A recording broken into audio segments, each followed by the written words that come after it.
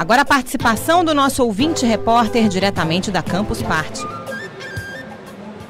Bom, pessoal, para quem gosta desse mundo de tecnologia, é uma feira muito interessante que mostra novidades e tendências do mundo da tecnologia. Aqui na feira você pode encontrar algumas atrações, como por exemplo a guerra, o duelo de robôs é, e também simuladores para a criançada.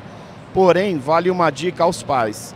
É necessário obter a informação de que existe a idade mínima para poder participar dos simuladores, que é a partir dos 16 anos. Então, pais, informe-se antes. E seria uma orientação para que os organizadores e também a mídia divulgassem com mais clareza. Eu sou Edson Caetano, diretamente da Campus Party para a CBN.